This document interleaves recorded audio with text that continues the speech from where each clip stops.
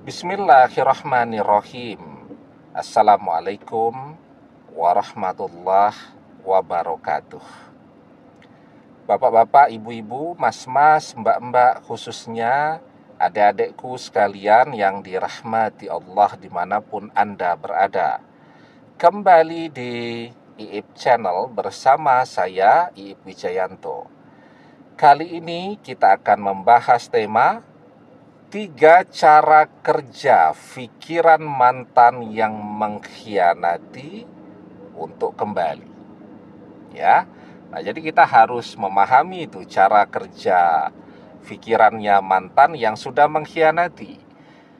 Bagaimana sih cara dia berpikir untuk kembali kepada kita? Jadi ketika kita misal main catur ya, tentu kita harus tahu caranya ya bisa saja sih apa uh, pion kemudian peluncur kemudian kuda kemudian benteng digerak-gerakkan. Tetapi kan semuanya ada cara kerjanya.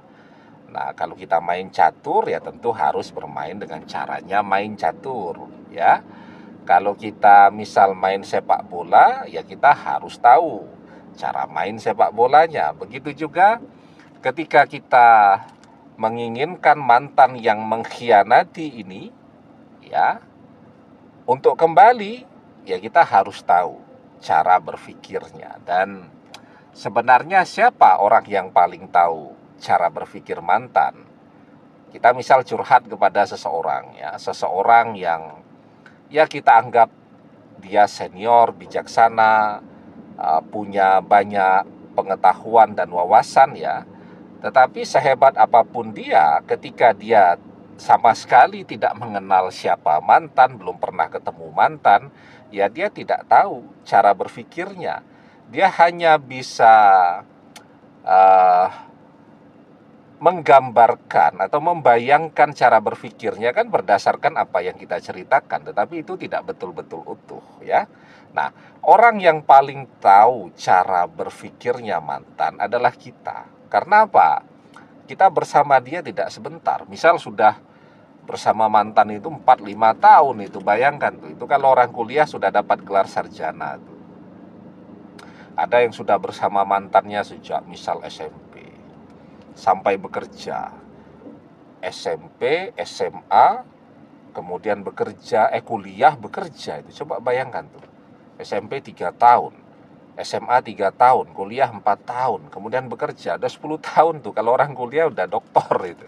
Ya, jadi kita orang yang paling mengenal mantan, paling memahami mantan. Nah, cara uh, berpikirnya mantan itu kita yang paling tahu. Nah, dengan modal pengetahuan cara berpikir mantan itulah kita bisa menarik dia untuk kembali. Insya Allah. Nah, jadi ada tiga tipe mantan kan. Yang pertama mantan mengkhianati karena harta.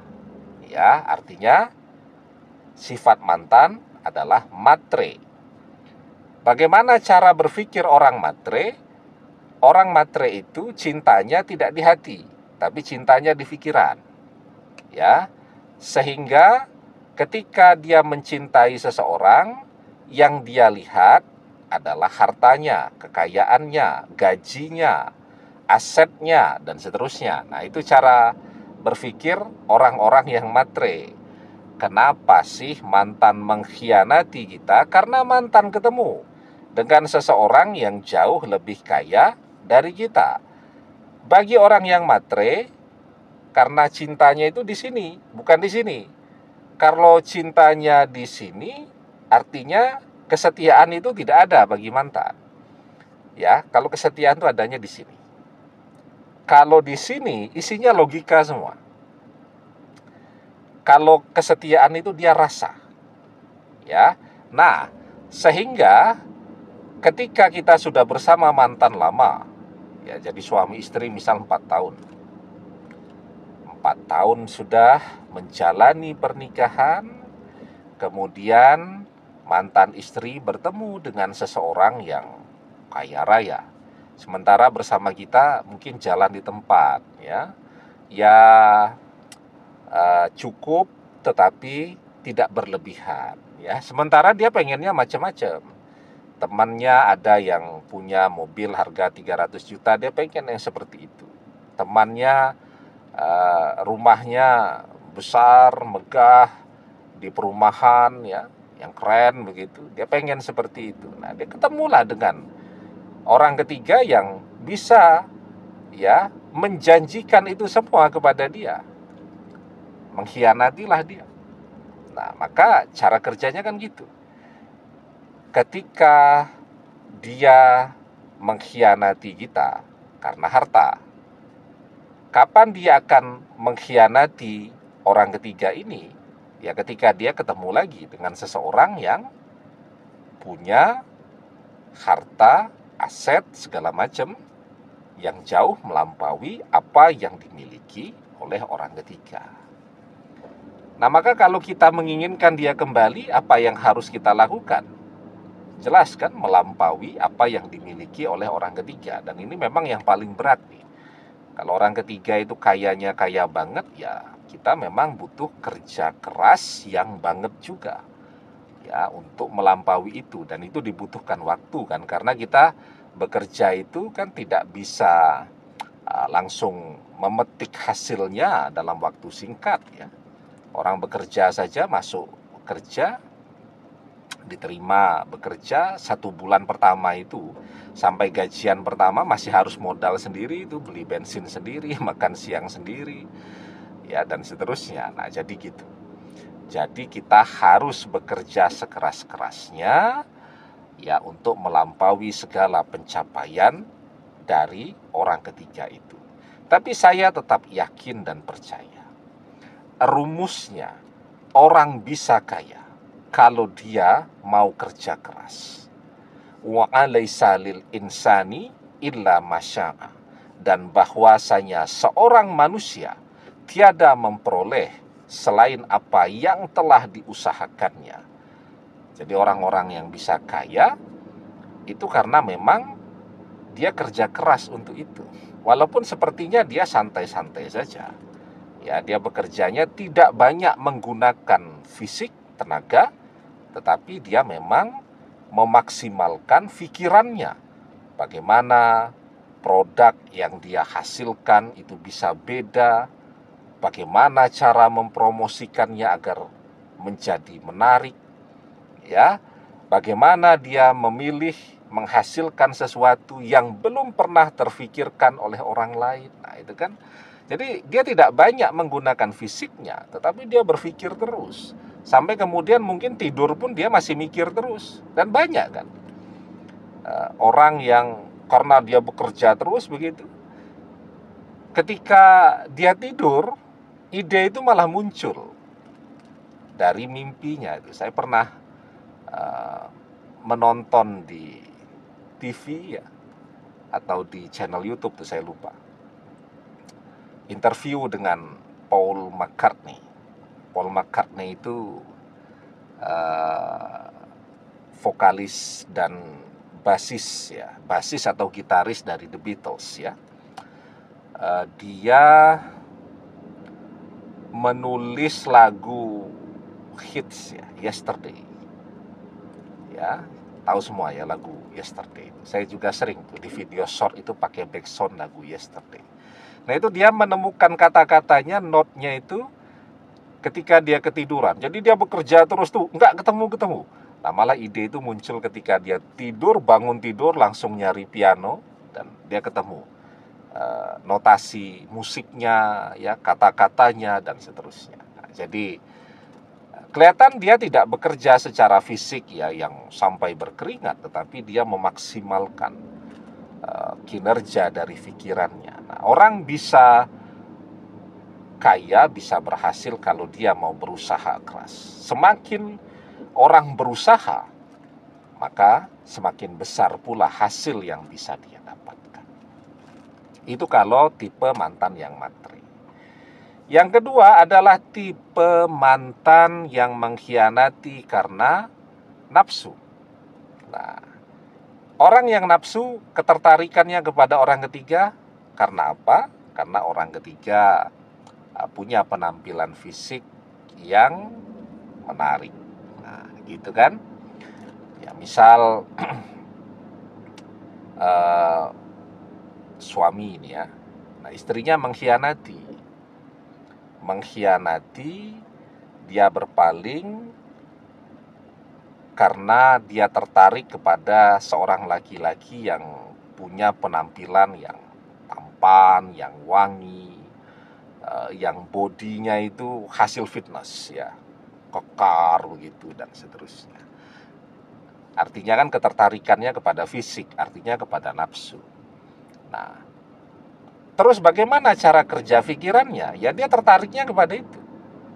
Kalau ketertarikannya kepada fisik, ya maka di, kapan dia akan kembali? Ya ketika dia menemukan atau melihat seseorang yang punya penampilan yang melampaui siapa yang bersama dia sekarang. Nah, jadi nah, di situ tuh ya bagaimana caranya kita sekarang kalau kemudian orang ketiga itu bisa punya performa dan penampilan fisik yang seperti itu ya, yang kekar, yang perutnya kotak-kotak itu yang six pack ya. Eh, dan seterusnya, ya sekarang kita harus berusaha untuk itu. Ya. Dan lagi-lagi tadi manusia bisa mendapatkan apa yang dia inginkan kalau dia mau berusaha. Ini juga cukup berat ya untuk membentuk fisik itu cukup berat dibutuhkan tekad yang kuat, uh, disiplin, dan ketekunan. Nah, tapi uh, membentuk fisik yang bagus itu sepertinya butuh waktu tidak selama untuk menjadi kaya raya tadi. Ya, nah itu yang kedua. Tipe mantan yang mengkhianati karena nafsu. Yang ketiga, tipe mantan yang mengkhianati karena mudah jenuh, mudah bosan. Nah, kalau yang ini sebenarnya bisa lebih cepat tuh. Kenapa? Karena kuncinya kalau orang mudah bosan, mudah jenuh, kebosanan dan kejenuhannya itu bisa hilang kalau dia berada pada suasana baru. Misal di tempat kerja dia udah bosan aduh capek bosan jenuh. Apa yang dia lakukan? Dia resign cari tempat kerja dengan suasana yang baru tantangan yang baru teman kerja yang baru kan gitu. Nah dengan pasangan juga gitu. Penampilan kita ya begitu-begitu saja bosan dia jenuh nah maka kuncinya cara kerja pikirannya dia akan tertarik ketika melihat penampilan kita berubah. Ya. Jadi penampilan kita beradaptasi dengan yang kekinian. Apa nih yang sedang trending pada saat ini ya, misal uh, cara berpakaian. Kan laki-laki juga punya tren modenya sendiri ya.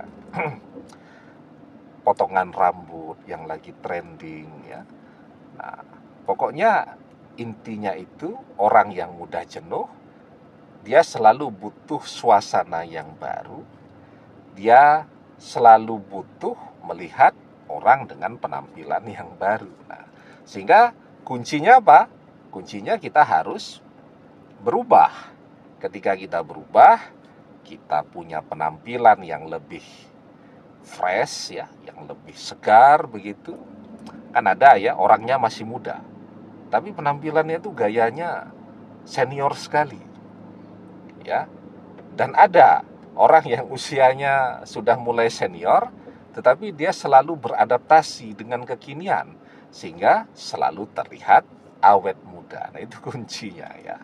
Nah sehingga yang paling penting itu memahami cara berpikir mantan kenapa mantan mengkhianati kita karena dengan itu kita akan tahu ya bagaimana cara menggerakkan dia tertarik untuk kembali bersama kita lagi. Demikian, semoga bermanfaat. Wallahu a'lam bissawab billahi taufik wal hidayah. Sumassalamualaikum warahmatullahi wabarakatuh.